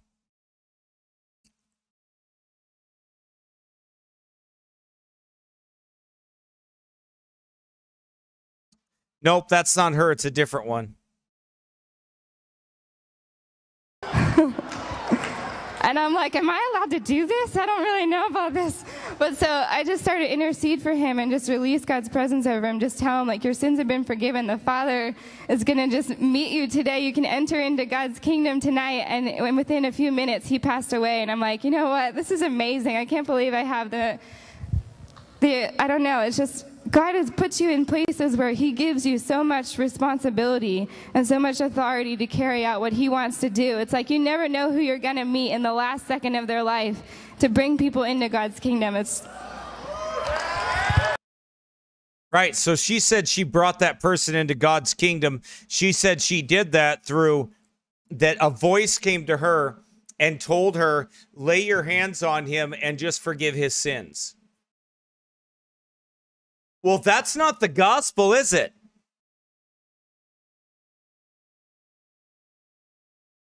That's not the gospel. The Bible says men have to repent and believe the gospel. No one can do that for them. No one can no one can get saved for you.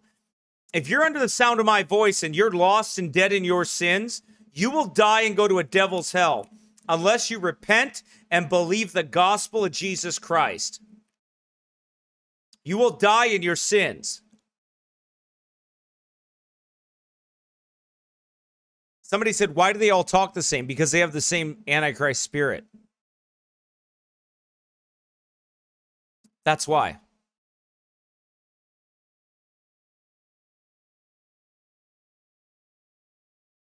They literally have the spirit of Antichrist. That's why they're like that. It's just who they are. That's the spirit that they have.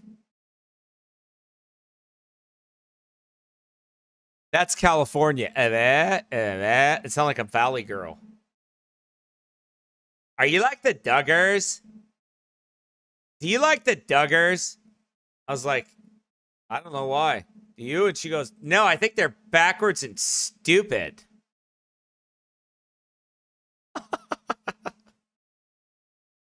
oh, that's funny. Okay. So she just told them what? That I could forgive his sins. Is that in the Bible? Not to take an unconscious man and forgive his sins for him and repent for him and get saved for him?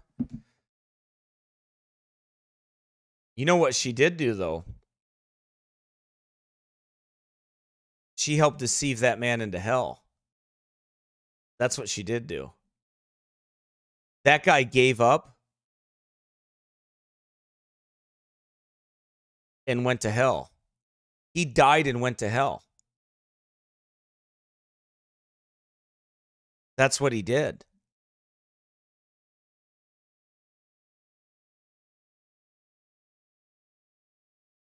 She just had him give up. So there's a false, devilish, satanic prophet in his room. Walks up to him and gives him false hope.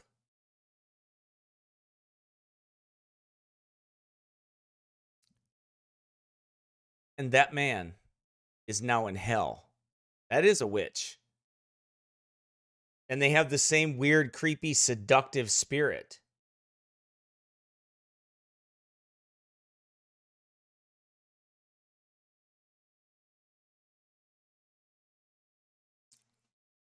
They have the same spirit.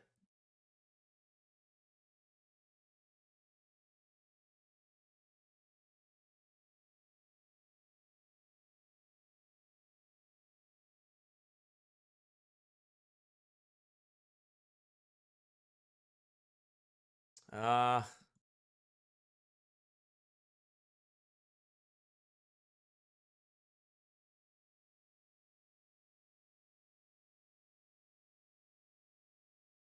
We'll try it again here.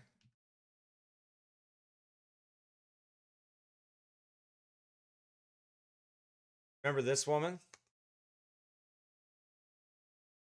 This is Bethel. Oh, okay. And uh, this will kind of probably offend you, but oh well. And the Holy Spirit to me is like the genie from Aladdin. I view the Holy Spirit like the genie from Aladdin. And he's blue. Unplanned, perfect. And he's funny. And he's sneaky. And he's courageous and he's everywhere. And he's wonderful. That's who he is to me. And he's funny. And he's sneaky. He's silly. He's wonderful. And I view him like the genie from Aladdin.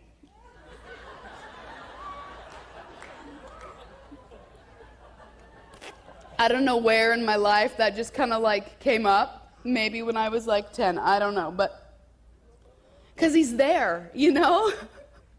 and he's he's the helper and he's just always supportive and comforting and he's just fun. And he's blue.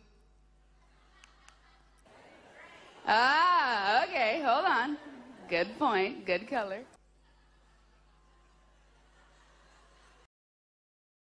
Oh my word. This is this is their version of God. Yeah, that's that's their version of God. God the Holy Spirit is not silly.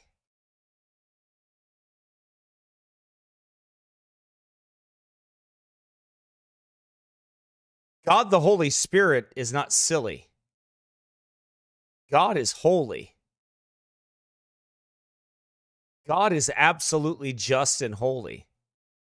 These charismatic apostates, this is what they teach. This is Bethel. That's the spirit of Bethel, remember?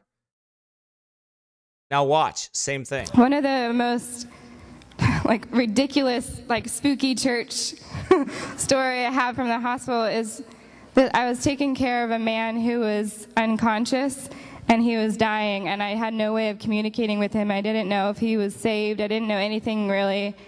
And I was in the room, and his heart rate just started to drop really fast. And I was just like, Jesus, I don't even know if he knows you. Like, what, what do I do in this situation? And I just heard him say, If you forgive his sins, he'll be forgiven.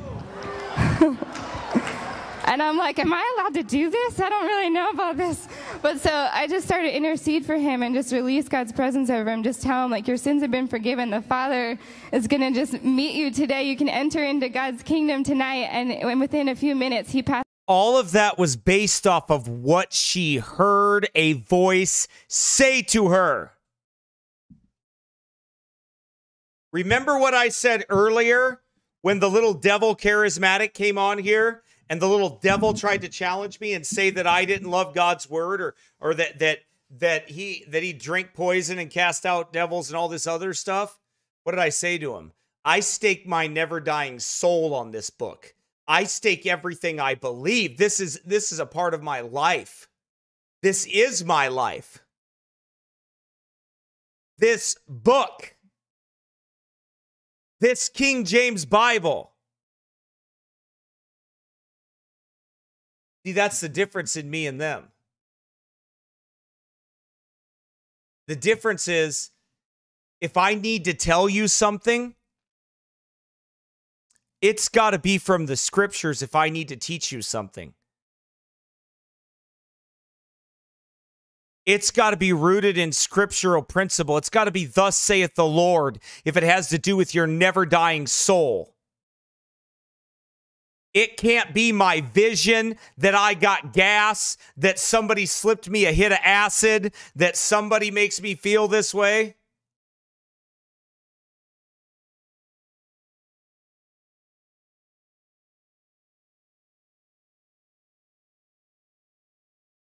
It has to be the words of God.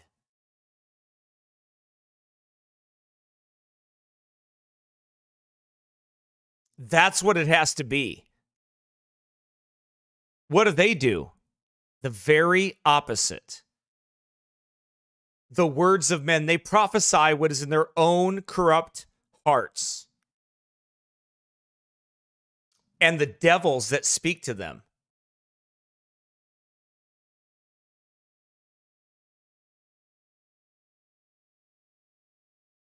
The devils that speak to them.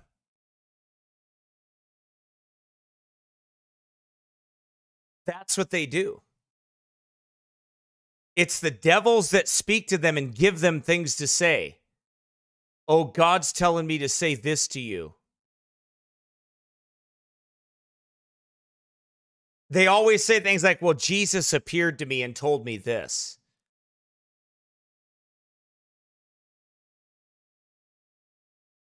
And the, and now and this is what I'm going to tell you. Really? Cuz when I counsel people, I don't I don't I don't tell them what mysterious voice came to me and spoke to me. I take the words of the living God. Yes, she said the Holy Ghost is blue. That's what happens when you leave the authority of Scripture and you do what you want to do.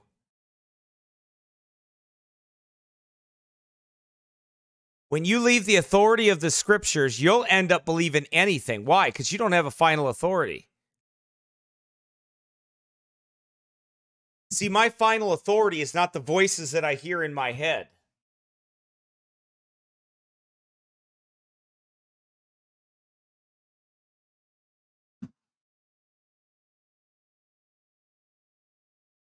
Or spirits that speak to me.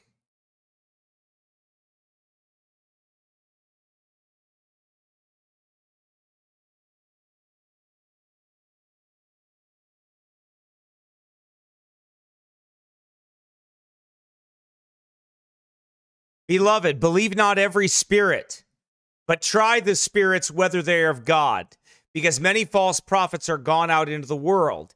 Hereby know ye the Spirit of God. Every spirit that confesseth that Jesus Christ has come in the flesh is of God, and every spirit that confesseth not that Jesus Christ has come in the flesh is not of God.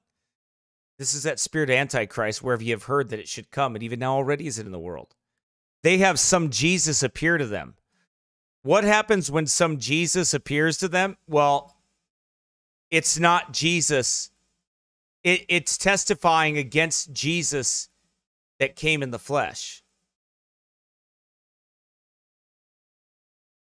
It testifies against them. Every spirit that confesseth that Jesus Christ has come in the flesh is of God. And every spirit that confesseth not that Jesus Christ has come in the flesh is not of God. So if this spirit comes to you and tells you it's Jesus, It's not of God.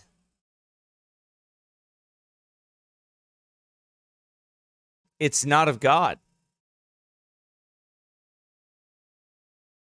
It is Antichrist. Why? Because it's saying it's Jesus.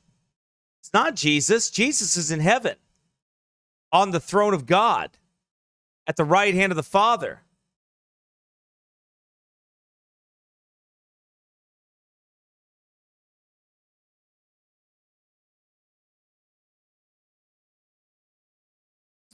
Right?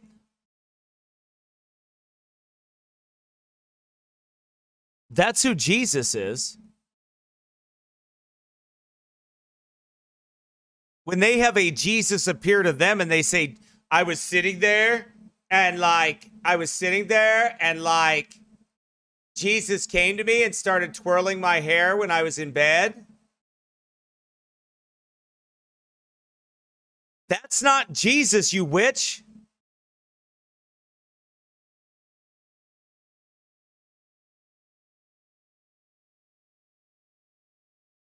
Or like the one charismatic guy said, Jesus came to me and he said to me, Please forgive me.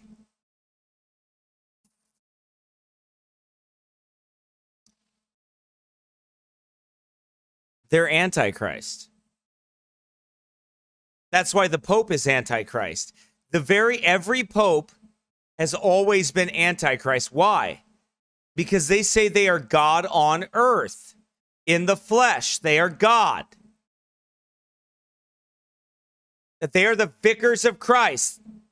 They are God on earth. Well, they are antichrist.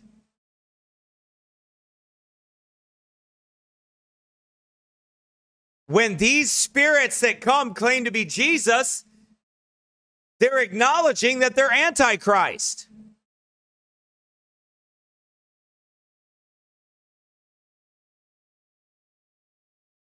Why does Jesus need to come to me when I have the completed scriptures right here and he, he does through the word of God?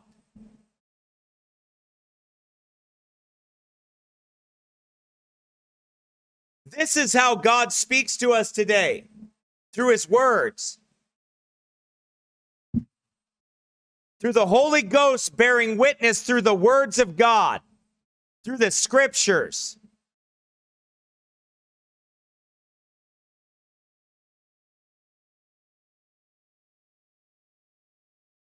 That's how. That's how God speaks to us today.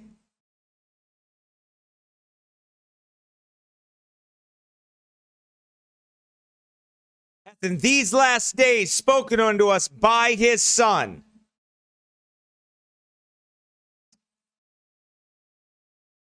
We're running out of time. We're going to have to pick it up again Wednesday for more more of this possibly charismatic uh, chaos and all the other nutty things that go on in the woke mob. Give you a chance to say hi. If you've never said hi before, there's there's been about almost 60 people on here today. If you haven't said hi uh, at all, or if this is the first time listening and you're mad at me, that's okay too. I'm okay with that. But uh, let's play a song here and give everybody a chance to say hi. Maybe you have a question or something.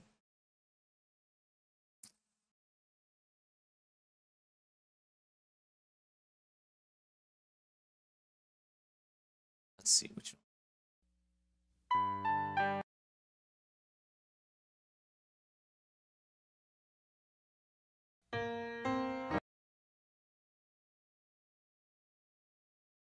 Let's see.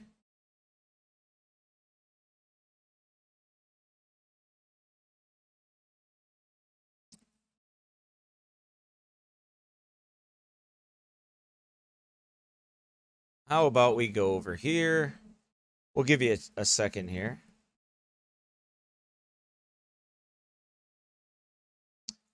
And we'll look around here. Just give me a second. Some of you may not be in that big of a hurry anyway.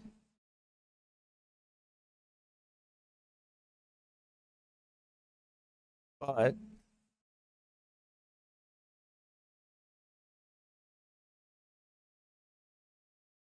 I'll find the one I'm looking for.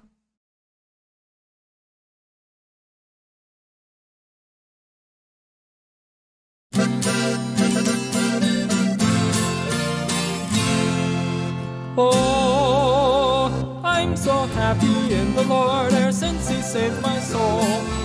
I'll shout it from the mountain tops, Christ Jesus made me whole. Holody, holado, hodalade, lodity, hodalodity, loddy, hodalodity, holody, holado, hodalade, lodity, hodalodity, lodity. Yoda, do, do, do, do, ya, ya, do, ya, do, yoda, do.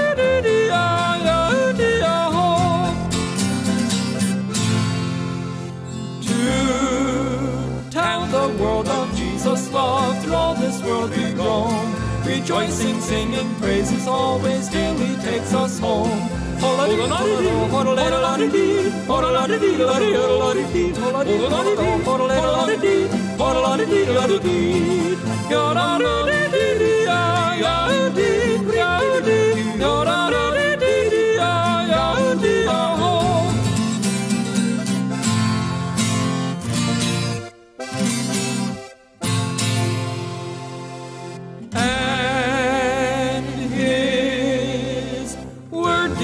That when we die, the heavenly gate he'll open. So each day here we'll walk with him in liberty and hope.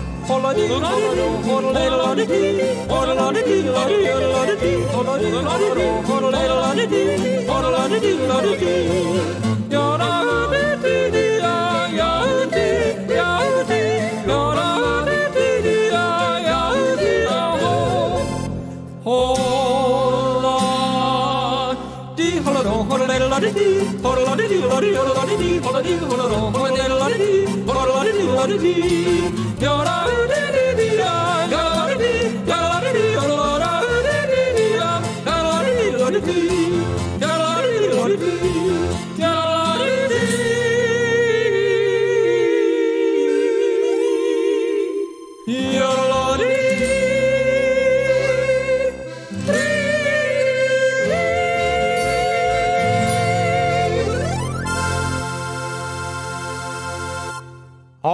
right, all right, all right. Well, good to have everybody on here. Hope you're doing well.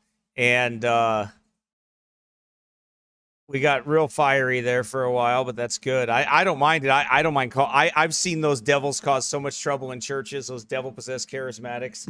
I just I don't I I just let I just lay them out. I don't even mess with them because I know what damage they do to people. I know what their doctor does. It's damnable, is what it is and uh, it infects Pentecostal charismatics. They affect, infect churches and destroy them. All right. Anyway, so you pray for us. Pray the Lord continue to bless us, and that God would continue to um, meet our needs and take care of us.